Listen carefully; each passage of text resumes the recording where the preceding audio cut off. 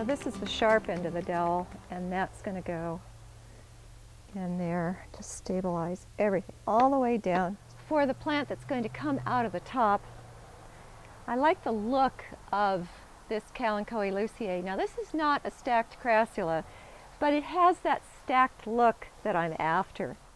And my dowel came through that without injuring the plant, peeking out over the edge of the pot, and then over time that will grow and fill in and cascade even more.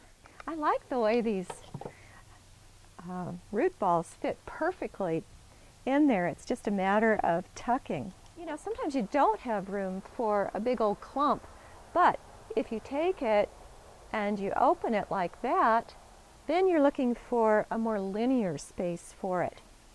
And here we have our Crassula perforata variegata. So really, a chopstick is your best friend. See how I'm using it to push down on the root balls? In determining where to put the senecio, I'm looking up to see where the senecio above it is going to cascade. Do I have room for this? I know you're thinking, no, she doesn't. Well, I'm going to find room for it.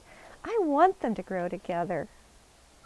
All right, so here's a gap behind that crassula, that lime crassula.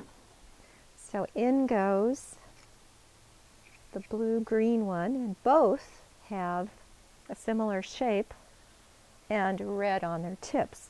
Normally, I'm not a huge fan of combining blue greens and yellow greens. I think it's better to stay with one um, and do the whole composition that way. But in this one, it's united so beautifully by the shapes of the plants that, that I don't um, I don't have a problem with the, the two different greens.